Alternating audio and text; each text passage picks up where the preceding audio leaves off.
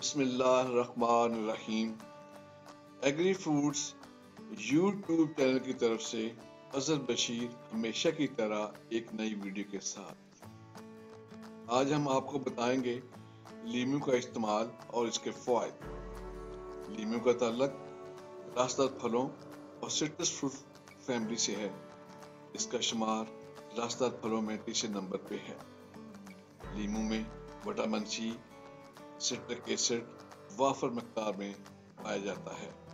اس کے علاوہ لیمو میں potassium, phosphorus, protein, vitamin B carbohydrates, calcium, iron, magnesium, potassium, dietary fibre, vitamin B complex وغیرہ پائے جاتے ہیں۔ جلد کی خوبصورتی، نظام ہاضمہ کی درستی وزن کم کرنے کے لیے لیمو پانی کا استعمال نہایت مفید ہے۔ لیمو میں antiviral antibacterial properties پائی جاتی ہیں۔ اکثر جب ہم صبح سویرے اٹھتے ہیں، تو جسم میں شدید کمزوری محسوس کرنے کے ساتھ کاوٹ بھی ہوتی ہے اور سارا دن نیند اور بے چینی کا شکار رہتا ہے۔ اس مشکل سے بچنے سے ایک بہت زبردست اور مفید ٹوٹکا آپ کو بتاتے ہیں۔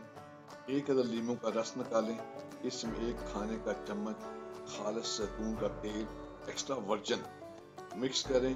اس ٹوٹکے کو روزانہ ناشتے سے ایک گھنٹہ پہلے استعمال کریں۔ آپ کے جسم میں تبدیلی آئے گی قبض ختم ہو جائے گی، دل کی بیماریوں سے بھی بچا جا سکتا ہے۔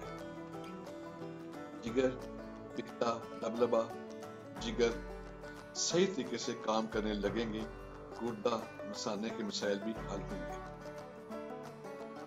اور ساتھ ہی جگر بھی صاف ہو جائے گا۔ میدے بھی بہتر طریقے سے کام کر سکے گا۔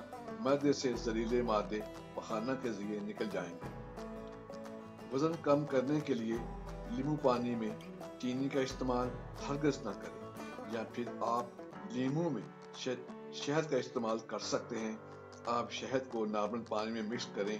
گرم پانی میں شہد کے استعمال سے وزن کم کرنے میں اچھے اثرات نہیں ملتے۔ لیمو پانی میں، نمک کا استعمال کم رکھیں کیونکہ بلڈ پریشر کو بھی بڑھنے میں مدد دیتا ہے۔